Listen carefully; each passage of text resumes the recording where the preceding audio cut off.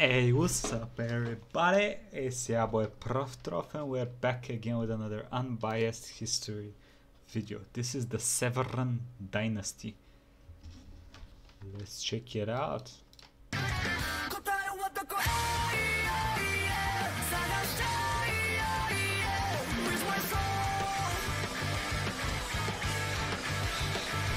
We're starting off with anime music, so it's bound to be good, huh? Oh, by the way, uh, I started making my own thumbnails with Photoshop yesterday. Learning how to do that shit almost made me wanna throw myself out of the building window in game. So uh, let me know what y'all think about the thumbnail. Good, bad, criticism, suggestions, everything is appreciated. Thank you. Septimus Severus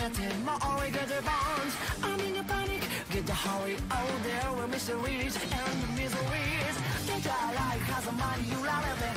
Someday you live, but why you at your hell? No need no show die, and no no show die. Oh, darling, one, two, three steps on this dog stage. Reach your white man, show white camera, no fuji air. 手をかけのただこれがなるので Words and songs, fuse and rap あふる力が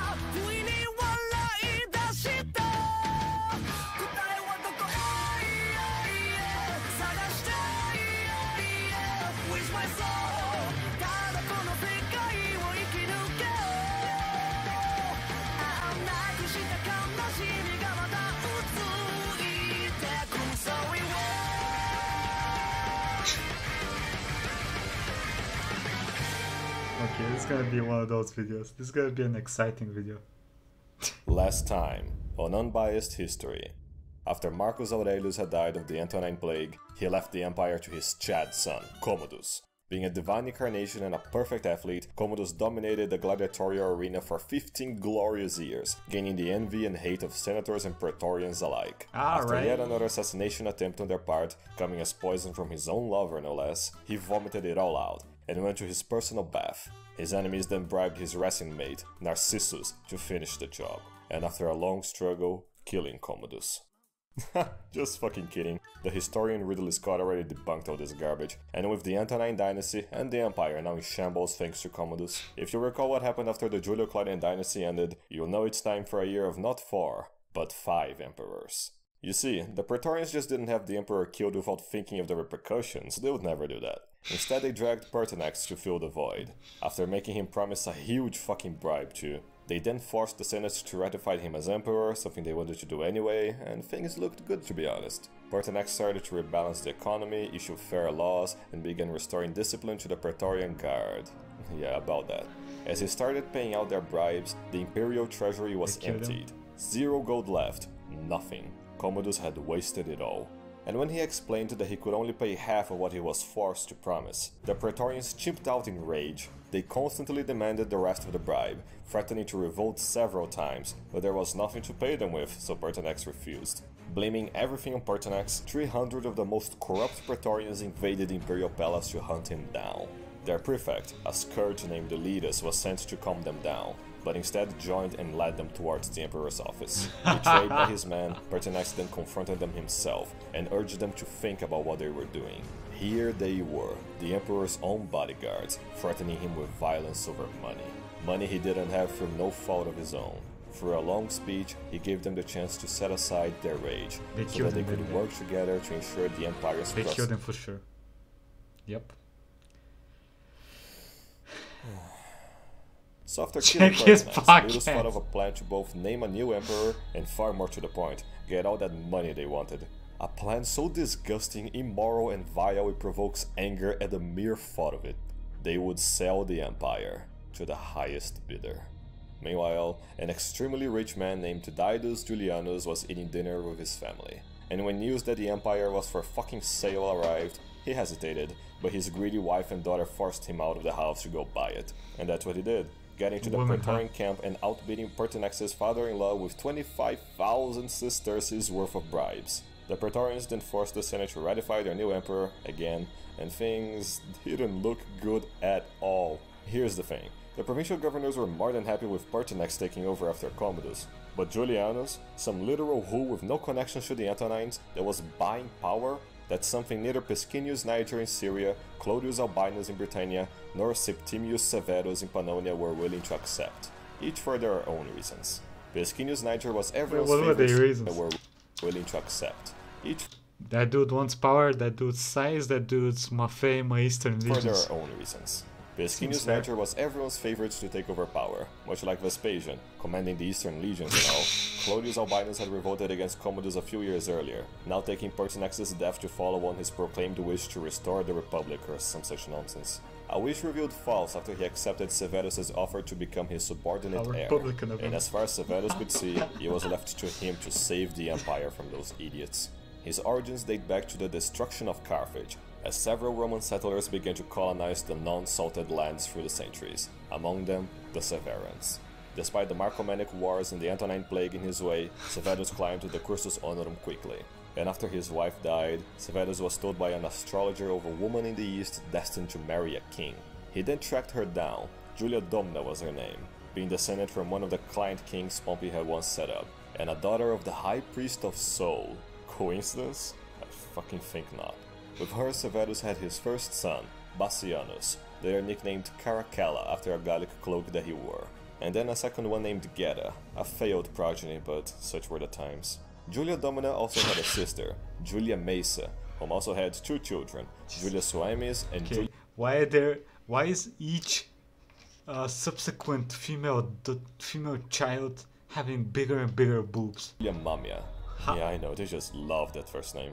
After receiving Marcus Aurelius' respect, Severus would then spend his days cleaning up after Commodus' mess, being eventually appointed to Pannonia, where he commanded three veteran legions, and where he received news of Pertinax's death. The Duty bound to oust the usurper, Praetorians are being Praetorian again. Severus marched south and occupied a growing city called Ravenna, Okay. where the imperial fleet was okay, considering at this point how many fucking emperors and uh, leaders of Rome they have killed, has none of them tried to, you know, disband the Praetorians? Like they've killed everybody at this point. Like if everybody that they're supposed to be protecting, they've been killing. Like Jesus, or were they that strong that you cannot disband them? What As a response, Julius forced the Senate to declare Severus an enemy of the state, sending several assassins disguised as diplomats to kill him. But whenever they got there, the moment they made eye contact with him, they either shit their pants or joined his side, often both. Despised by all except the Praetorians that he bribed, Julianus sent them to defeat Severus, getting all annihilated by him. I don't know what he was expecting. Severus then camped outside Rome, and instead of taking it by force, back, huh? he sent an ultimatum for the Praetorians to deliver Laetus and all the Praetorians who partook in killing Pertinax. Their comrades betrayed them in a second, and Severus had them all executed. Julianus was later dragged to a dark room, and before being executed, he cried, But what evil have I done? Whom have I killed? And I can answer that. One, listening to his wife, and two, by consequence, himself. The Senate then recognized Severus as the new emperor, not that he cared. In such times of absolute political corruption and decadence, the army was the only institution that mattered. And to further this point, Severus had all remaining members of the Praetorian Guard line up, confiscating their property and Oh. wealth, exiling them all, I thought he and filling it up with four times more men, all veterans from his legions, and giving them all the assets he seized. That settled, Jesus. Severus gathered his legions to deal with Pescennius Niger in Syria, whom, after a few months after Pertinax's death, had moved from Antioch to Bithynia. In the same time, Severus had marched south, deposed Julianus, rested a bit, sailed west, and arrived in Bithynia. After a few losses, What? What?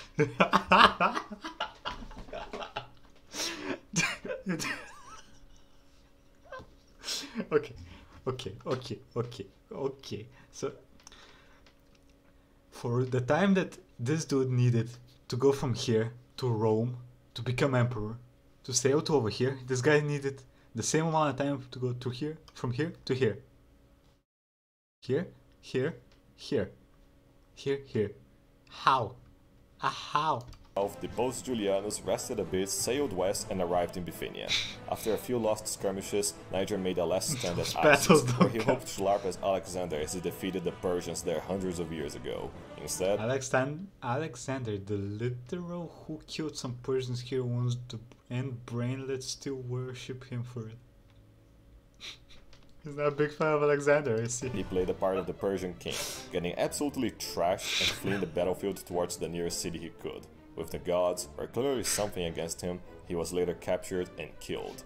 But Severus then had to deal with the last of Niger's strongholds, a small, irrelevant village called. what? Byzantium was it? Yeah, yeah, something like that. And soon it became clear just how fucking hard it was to siege it. It took Severus two fucking years to finally capture it, and it made him so mad he ordered all fortifications of the city destroyed, hoping it would be forgotten to time.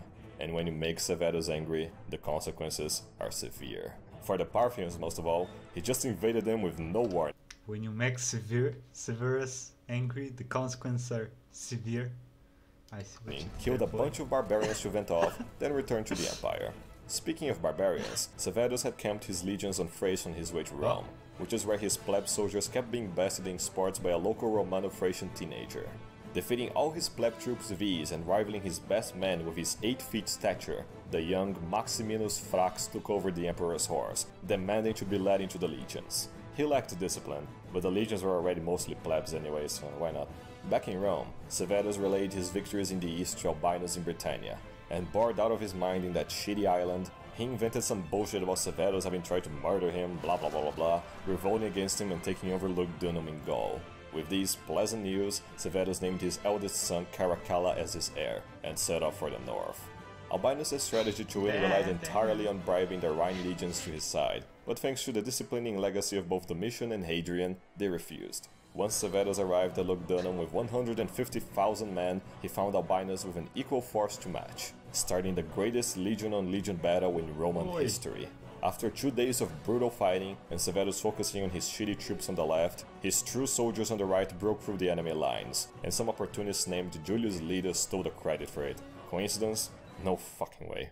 Much like Niger, Albinus fled to the nearest city he could, but this time, he spared everyone the trouble and just killed himself. Severus then walked over his desecrated corpse, cutting off his head and sending it to Rome, ah. alongside his limbs and those of his family. Having won the civil war, Severus ordered an empire-wide purge of all supporters of Niger and Albinus, killing some 30 senators in the process, and giving all their property to his soldiers, then doubling their annual pay for good measure. Yo, This guy did not fuck around. His reasoning You bad, you die. being that he could either bribe his pleb legions into compliance at the expense of the economy to prevent any revolts, or he could rely on the Senate's wise administration to ensure peace in the provinces. Corrupt senator fucking chance. So he debased the currency to pay what he needed, which would become a standard practice. And it hadn't taken even a couple of years before his new praetorians started getting filled with corrupted plebs. Oh, As their prefect, Plautianus, would soon show. Predictably, Severus found the administrative life of an emperor absolute torture, caught between correcting for the Senate's incompetence, the plebs' idiocy, and the Praetorian Guard's growing corruption, he decided to do what he was best at fucking off to the provinces and killing Rome's enemies.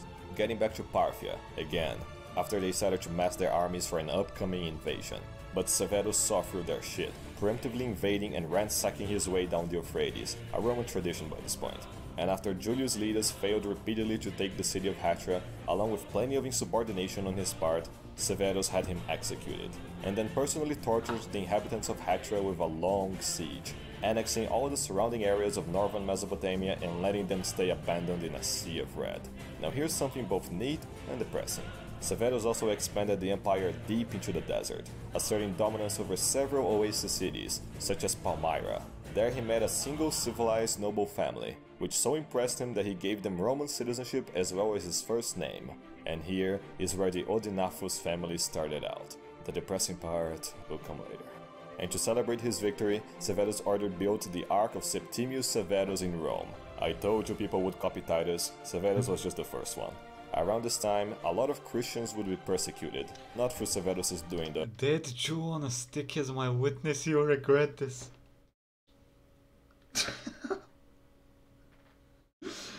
Uh, bruh. So oh, he adhered to Trajan's policy of meh towards them, getting bored at the mere mention of their crucified Jew. So to cure that, he returned to his home in Africa, campaigning deep into the Sahara, expanding the empire to protect his home city of Leptis Magna. Meanwhile, Plautianus was playing the part of Corrupt still Sejanus, usurp. abusing power, demanding personal loyalty, thinking himself the hot shit, you know the rest. Back in Rome again to oversee his unimportant brother's last moments, he testified against Plautianus' crimes as prefect, dying shortly after. It was then that Caracalla approached his father, warning him of a Praetorian plot Plautianus was crafting against him. The Severans then faced Plautianus, struck him down, and ordered his execution. Once dead, and his family exiled to Sicily, the full burden of the state fell on Severus once more, driving him so suicidally angry that when news came that the Picts were stirring up trouble in the north, Severus took the chance for one last campaign. But that was the last nail in the coffin, both for Severus's patience and his life. The moment he arrived in Caledonia, after rebuilding Antonine's wall and marching south, the Picts fled to the highlands like the cowards they've always been.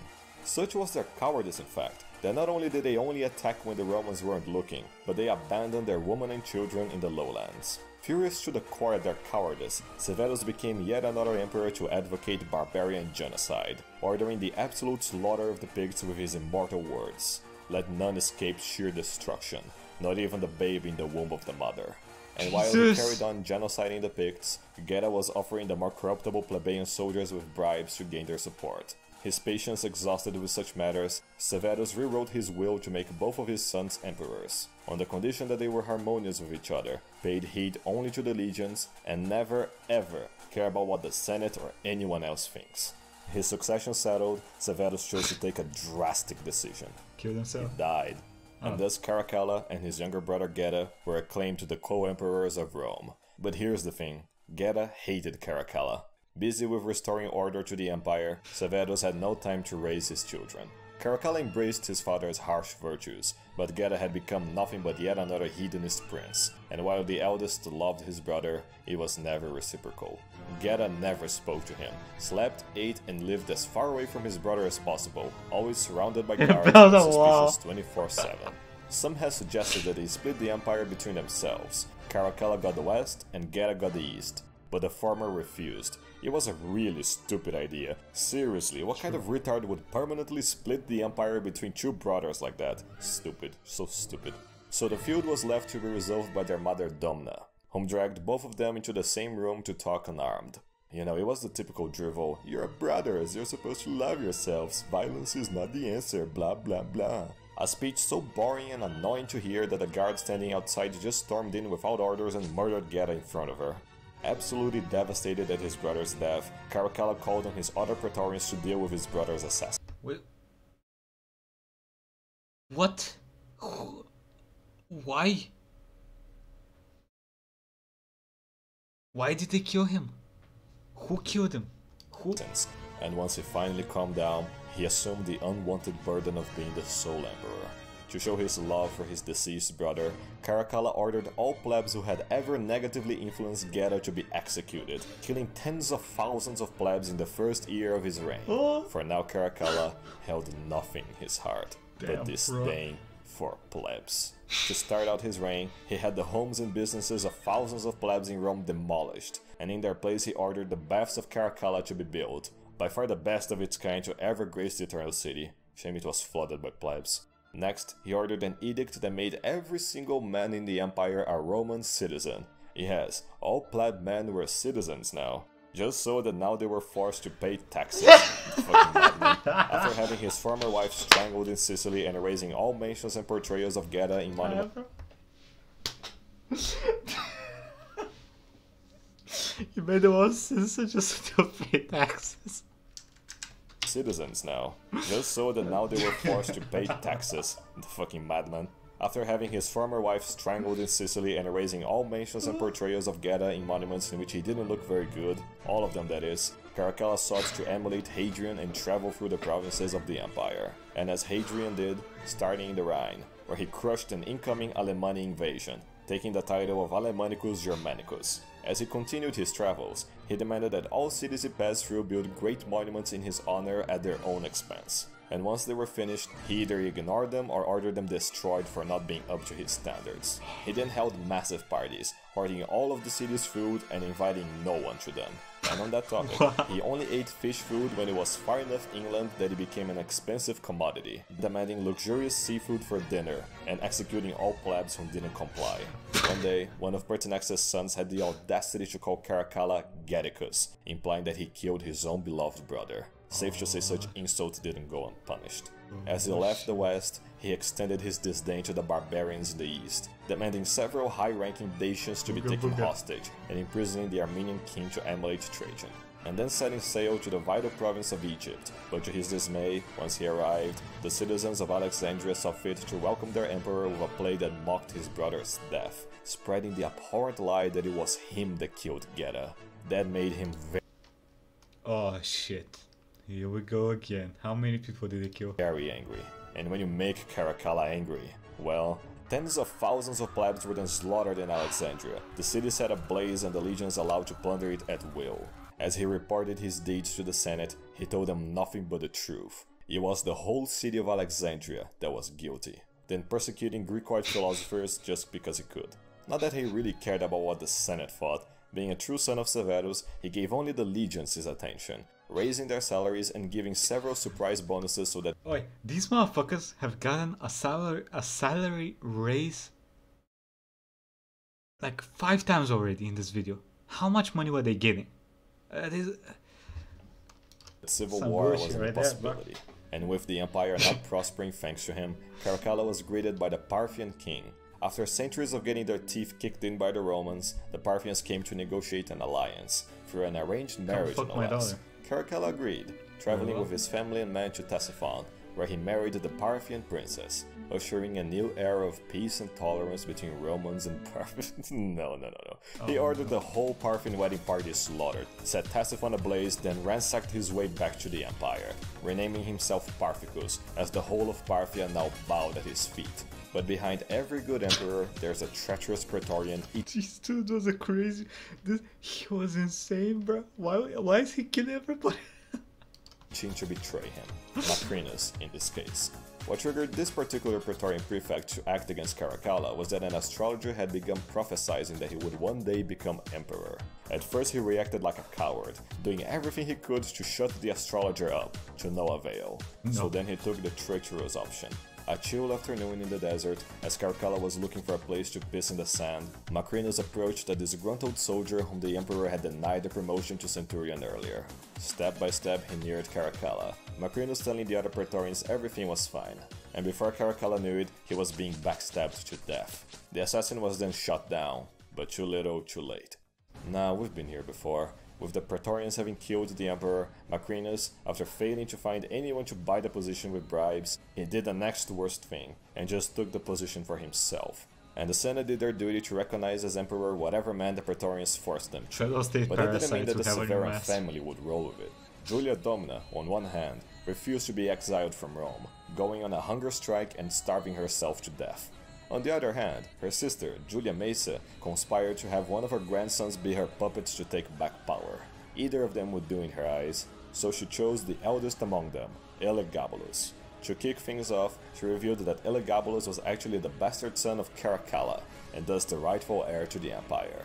Once the news reached one of the eastern legions, they instantly revolted in favor of Elagabalus, all while Macrinus was busy sucking up to all of Rome's enemies, returning the Dacian hostages, appointing the imprisoned Armenian king's son to take his father's place, and even paying off the Parthians not to attack him, only then hearing of what was happening in Syria. He then sent his Praetorians to deal with them, but instead got all annihilated. Deja vu. Left abandoned, Macrinus mustered what troops he still had left to confront the rebelling legion. As they battled, Elagabalus bravely charged through enemy lines to rally the Eagle standard, routing the enemy forces, including Macrinus, whom then fled to the battlefield. He was later found in Cappadocia and executed by the resurgent Severans. He was the first emperor to have never set foot in Rome while in office. You, you'll get used to it. On that matter, and would you believe, the Senate bowed down to their newly proclaimed emperor. Wow. Didn't see that one fucking coming. And he was even so kind as to order a huge portrait of himself hanged on the Senate's walls, coupled with a statue of Victoria, goddess of victory. Get ready for the ride. Simply said, Elagabalus was the opposite of Hadrian on the faggotry spectrum. For Royal Hadrian fucked every feminine dude he took a liking to. Come on, bro. You can't.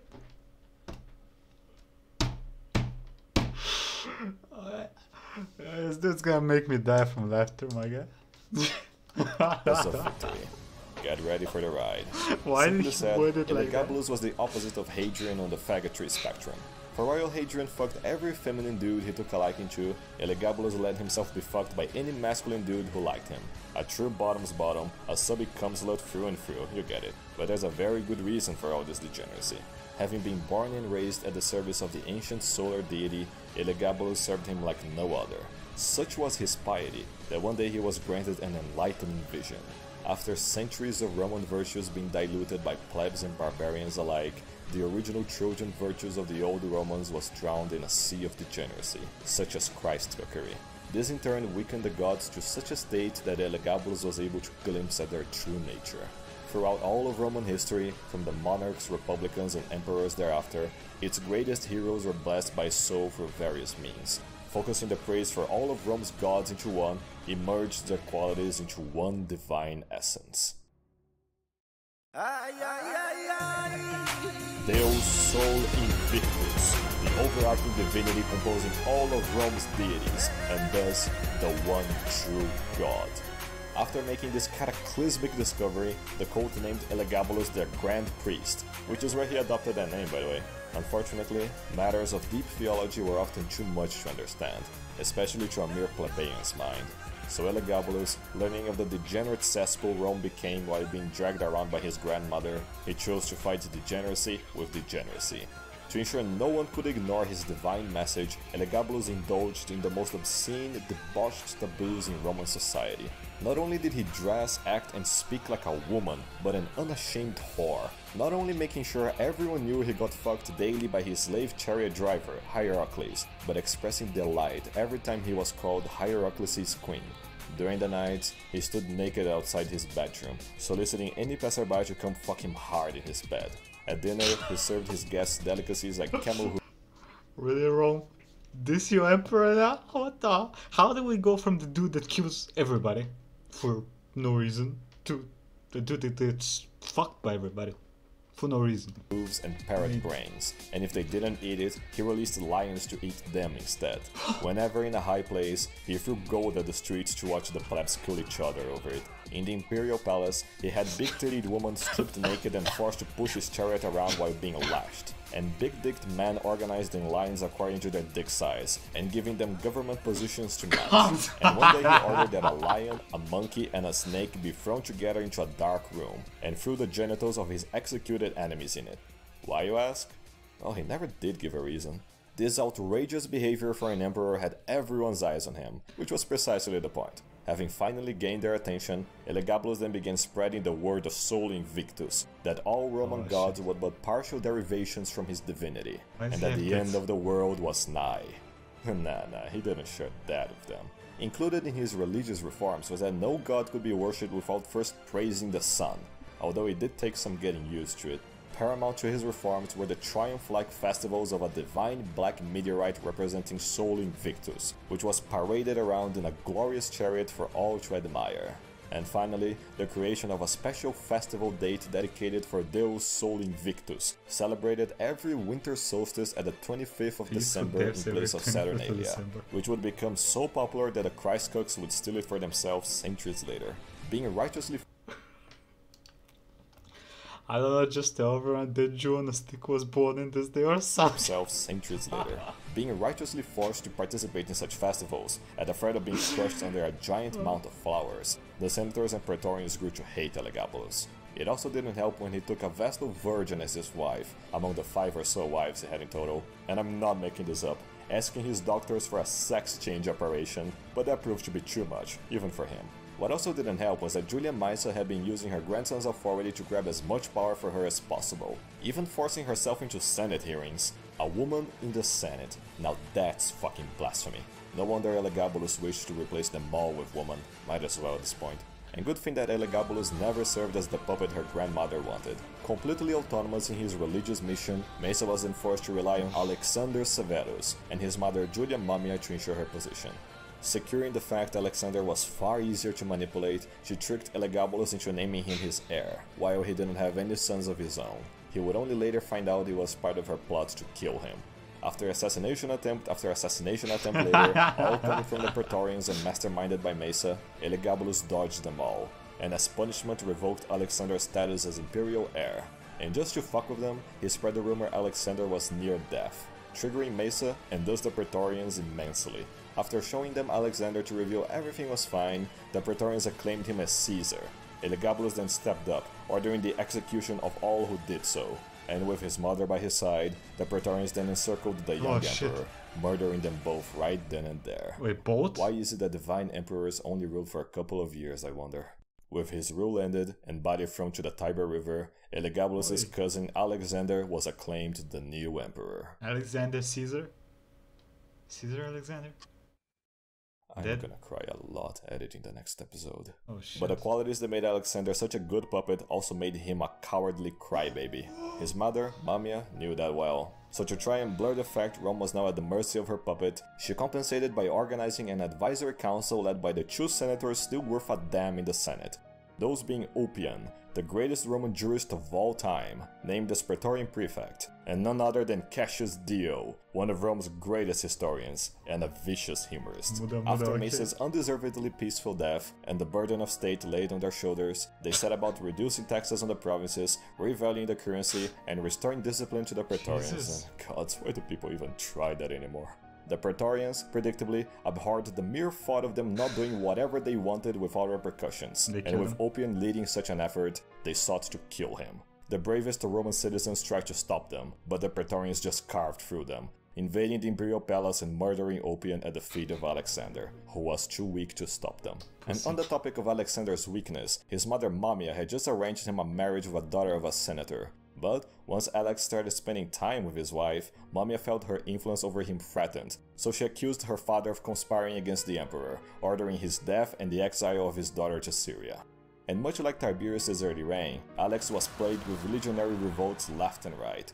No one wanted to swear allegiance to some mama's boy, much less with him reducing their payments. His Severian predecessors were right all along, as it turns out. And then the last leg of his administration, Cassius Dio, also became the target of the Praetorians' rage, with his sarcastic comments leaving nothing to the imagination. Once more, being too weak to defend his advisor, Alex had Cassius Dio exiled to Bithynia, where he finished his historical works and taught us about all the drama from his time. And not that far from Bithynia, we returned to Parthia, not for war, but to say goodbye to their crumbling dynasty. The details of barbarian politics bore me, so I'll be brief. After centuries of getting bashed by Rome, the Parthians became weak and found themselves in another civil war between two brothers. While they fought, an ancient evil had been brewing in southern Persia. Oh no. There, a brutal barbarian rebelled and summoned his legions from the underworld, crushing a punitive army and then a second one led by one of the brothers, later hunting the second one down. Crowning himself the King of Kings and the first Emperor of the Sassanid dynasty, Ardashir desired one thing only the destruction of Rome. Once Alex heard news of the eastern hordes gathering near Mesopotamia, he sent endless envoys to try and negotiate Maybe a peace. But peace was a foreign concept to such a manifestation of pure evil. In exchange for such a hmm, peace, Ardashir demanded all of Rome's eastern provinces so that he could bask in the blood of its innocent civilians. Obviously, with the legates forcing his mother to refuse, she then forced his son to go to war. Gathering most of the Rhine and Danube legions to the east, Alex planned a three-way invasion, from the north, south, and at the center, led by himself. But as both wings were accomplishing their objectives, Alex abandoned his invasion out of pure cowardice, allowing Ardashir's endless hordes to overwhelm the southern legions, thus forcing the northern legions to march back through the Armenian mountains on winter. Being completely at fault for the deaths of countless of his soldiers, Alex was Bruh, how are you such a little bitch? How? lucky to realize Ardashir became very busy eating the flesh of the plebeian soldiers he killed to wage war anymore. So mm. Alex just declared victory and left. Mirroring Marcus Aurelius' Parthian War, being forced to relocate to the Rhine and Danube legions, the Germans raided the empire, killing the defenseless families of many legionnaires. Enraged at the princeps' cowardice, their families' deaths, and the fact that not only was their emperor controlled by his mother, but a stingy autocrat that made them live in slave-like conditions, loyalty became rarer and rarer. The final straw came when kill him. Alex arrived in the Rhine, and instead of He beating the again? Germans back to their mud huts, he offered them even more golden rewards if they would be so kind as to leave, as they continued to slaughter the civilians and burn the cities. Enough was enough. All they needed was a leader, Revolt. which gets us back to Maximinus Thrax, by then a legate and a respected trainer of recruits. As he walked in to eat breakfast, the legions acclaimed him the new emperor like it was a surprise party. Taken aback, but understanding their motivations, Thrax accepted the title and ordered his centurions to realize the wishes of every soldier present. Must be sleeping on the Imperial again. tent, together with his mother laying on her hoarded wealth, the centurions had them both executed.